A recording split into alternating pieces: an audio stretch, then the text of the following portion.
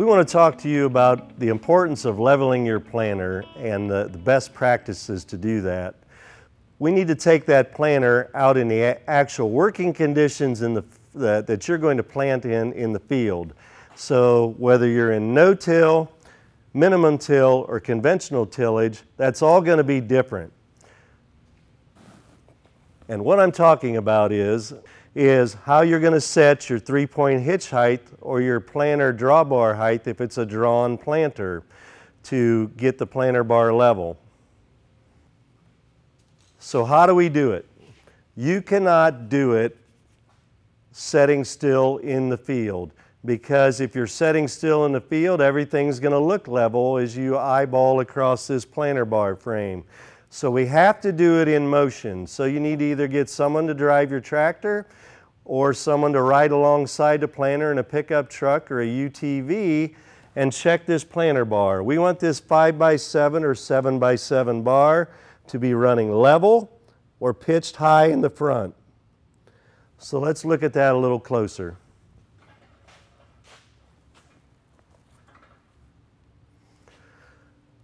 So we want these parallel arms to be running level. That way, no matter what downforce system we have, whether that's a hydraulic downforce system, a pneumatic system, or a spring system, that will give the optimal row unit travel as that row unit goes through the field and also allows that downforce system to perform correctly. What happens if we have this planter unit running nose down, meaning the planter's not running downhill? One of the things that can happen is this seed tube will be pitched and it actually needs to be running very, very straight. So when this seed tube, if it's running nose down or pitched, it will ca cause seed to be floated about a half inch up in the bottom of the V uh, and a half inch up in the bottom of that seed trench. So that's going to cause some depth issues, therefore causing some emergence issues. Next, depending on what planter attachments you have on this row unit, it's going to cause those to run incorrectly. For example, if you have a fixed row cleaner up front or a no-till coulter, what will happen is if that's pitched and nose down, that fixed row cleaner is going to want to plow and move a lot more soil than what you want. The other thing is if you're running a no-till coulter, it is going to allow that no-till coulter to run too deep below your seed opening discs and create a, a, false bottom trench. Therefore, we have some depth control issues and that relates back to emergence. Coming back on that row unit, we talk about the closing wheels back here and the closing wheel bracket itself, when that row unit is running level, this should be level as well. So if that row unit is pitched down or nose down, what we're going to do is affect how, how our closing wheels, the pitch of that closes the seed trench. And also, it's going to lighten this up back here, and therefore you're going to struggle to close that seed trench uh, in the field. So these are just some of the highlights of the importance of what we need to do when you're leveling the planter.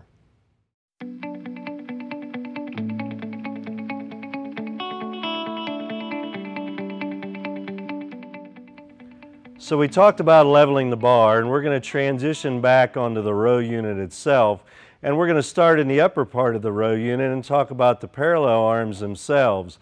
So the easy way to check this is, is if you've got your planter setting here in the shop, is just walk up behind a row unit and give it a shake and see how much slop you've got in your parallel arms, your bolts, and your bushings. And as you can see in this one, we've got quite a bit of wear between the bolts, the bushings, and into the actual arms themselves. And so what's that's going to cause is you might think your planter's level in the field and your row units are leveled out, but actually what's happening is, as you put that planter in the ground and those double disc openers hit bottom, what's going to happen is, is that row unit itself is actually going to nose downhill again and it's not going to be running level. So we talked about what that will do is change the pitch and the angle of your seed tube and it's not going to be running level and you're going to float seed up about a half inch up in the bottom of your seed trench and cause some uh, depth and emergence issues. The other thing it's going to do is cause some of your attachments to run too deep. For example, if you're running a maybe a fixed row cleaner on the front uh, or a no-till coulter, it's going to cause that no-till coulter to run too deep and create a false bottom trench. The, if it's a fixed row cleaner, you're going to have trouble with maintaining the depth of that row cleaner and it may want to plow. The other thing that's going to do with that slop and the nosing downhill of that row unit is our closing wheels back here and it's going to lighten the tension up on those closing wheels as well. So it's as easy a fix as then opening that row unit up, uh, take those bolts and bushings and, and arms off and, and take a look at those. And you can see on the row unit itself right here, right next to it, we put new upper arms on and we took a lot of that slop out. So the upper arm that uh, we chose to go with on this particular row unit is actually an aftermarket option, not an OEM John Deere. Um, this arm is made by GBGI. Uh, the uniqueness of this arm is they do a two bushing system. So if you look here on the outer arm itself, You've got your standard stamped steel, and then you've got a spring bushing uh, here on the inner part of this hole. And then you've got your standard bushing, which we always have on the inside for that to ride on. So what that arm's gonna give us is they're controlling the hardness that the outer spring bushing is a harder steel than the inner bushing is. And what that's gonna guarantee is over time, like this row unit, we got that egg shape of that arm and we're having to replace the whole arm. With an arm like this, you're not going to get that egg shape because it's only going to be the inner bushing that wears over time. So those are the parallel arms that we chose to go with on this planter that are showing us a lot better uh, wear and tear over time. So I think we're going to continue on with the lower portion of the row unit. Moving to the lower part of the row unit, mainly our gauge wheels and our seed opening disc, there's a lot of things down here that we need to be aware of. One of those is being is how our gauge wheel is positioned up against the seed opening disc. And you can see on here, as I raise this up, and this is how you want to check it, you want to raise that up up against your depth stop or up, up against your rocker. And then what you want to do is go ahead and pull this back and forth and run your hand along the bottom and see if you got any gap there. And in this case, there is somewhat of a gap. And what, if you have a gap there, you need to be aware of what's going to happen. So as you're going through the field and planting, and you're planting, for example, in dry dirt, and you think you're set maybe say an inch and three quarters to two inches deep, and you, you've got furrow moisture down there, but if you've got a gap between the gauge wheel and the seed opening disc, what actually is happening the dry dirt that's stirred up by those seed opening discs is coming alongside the seed opening disc, going right between it and the gauge wheel, and right down in the seed trench. And you're actually planting in dry dirt. So therefore, you're going to have some emergence issues. So, you know, how do we go ahead and fix that? On most planters, it's as simple as going ahead and adjusting your gauge wheel arm here and moving that uh, tighter up up against the seed opening disc. So Justin, if you want to help me, we'll go ahead and make some adjustments.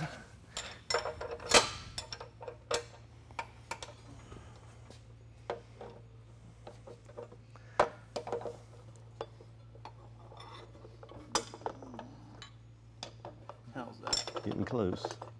How's that? There you, there you go. So this is what we want.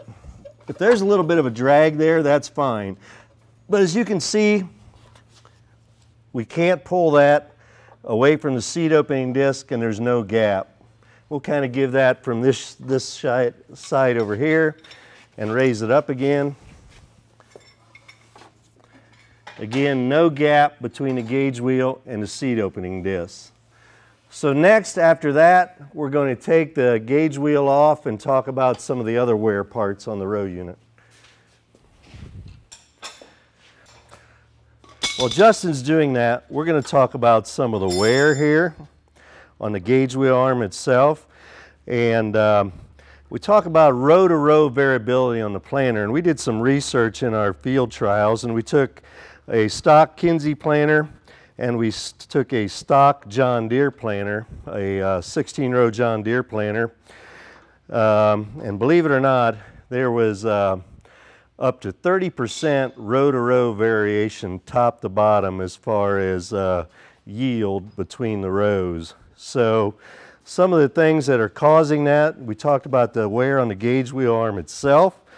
You can see here in this case that we've got wear on the arm where the depth rocker would go up against it and, and for your depth.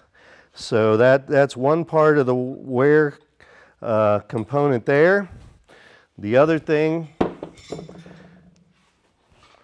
would actually be in this rocker and the bolt itself on where you actually adjust your depth here with the T-handle.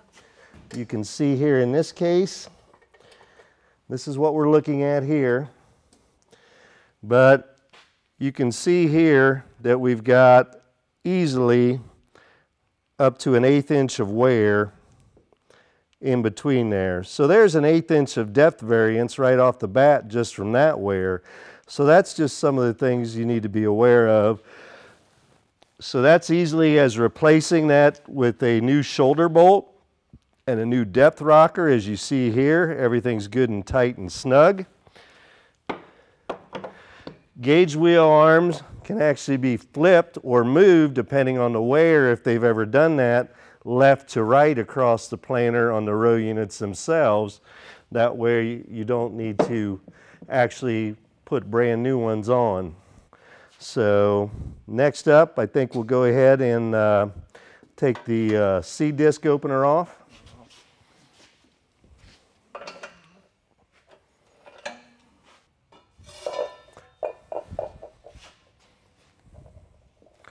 As far as the seed disc is concerned, opener itself is concerned, it depends on your planer, on the, on the starting diameter of a new disc. Uh, for example, a John Deere blade is a 15 inch blade. Uh, to measure that, need to measure across. When it gets to 14 and a half inches, that means that blade needs to be replaced. And I know what guys say, they can take these shims out of here and they can shove those blades in tighter. And what's going to happen then, you know, they say, well, I can get another year of wear out of them, but they forget that we've got a seed tube in between here and the seed tube protector, and pretty soon they wear that out, and then we've got other issues there besides. So again, when that blade gets down, uh, for example, on the Deere, gets down to 14 and a half inches, it's time to replace that blade. So let's go ahead, Justin, and we'll go ahead and put a new blade on there. And while you're getting that ready, I'll talk a little bit about the seed tube protector. The seed tube protector here is very, very important. So as it wears, it actually protects the seed tube itself from soil coming around it and wearing the side, side of the seed tube out. So on a new seed tube guard, uh, brand new, uh, they should be around 7 eighths of an inch uh, wide. Uh, allowable tolerance, uh, we look to replace them at 3 quarters of an inch. Um, so the recommendation is normally whenever you are replacing your double disc openers, you're going to be replacing your seed tube guards um, on standard wear items. So this seed tube guard in particular here is uh, 3 quarters of an inch. So we would be replacing this before putting new blades on. So we're going to go ahead and go through the shimming of uh, brand new double disc opener blades. So in this case, I have a 3.5 millimeter uh, wear parts blade. Uh, this particular blade has the hardened um, steel heat treatment, so we're looking to get about 30% more life out of these. So I'm going to go ahead and put this blade on. I'm just going to stick with the standard shims that we had before. I'm going to go through and put the nut on.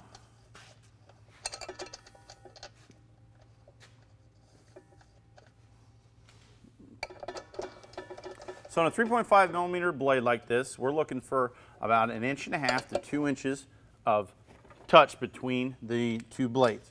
So you're going to take your business card or a sheet of paper folded in half. We're going to slide one card in from one side, I'm going to slide another card in from the other till they stop. I'm going to take my tape measure and I'm going to measure the distance. So in this case, in this set, I'm an inch and three quarters. So that's within our inch and a half to two inch tolerance. It's always important to also spin the blades and then check the tolerance in at least three spots.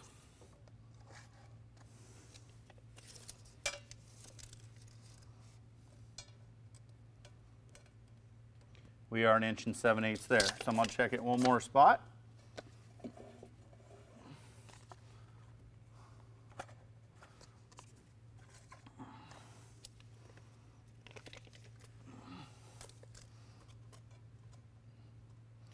Right at two inches.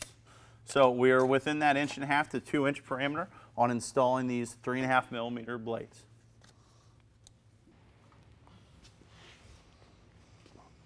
So after we get that done, then it's time we can put the gauge.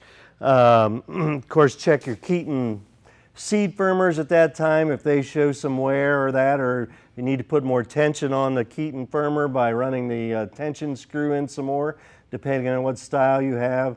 That then is a good time to do that while you have the entire lower part of your row unit opened up. So, uh, but that's very, very important what we just covered as far as the gauge wheel and the seed disc openers as far as maintaining good furrow integrity. As we move back off our seed opening discs and back onto our closing wheel assembly back here, you need to check that as well. So as you can see, you can take the spring tension off of your closing wheels, grab a hold of the closing wheel frame itself, and give it a wiggle and a shake and see what you've got back here for slop.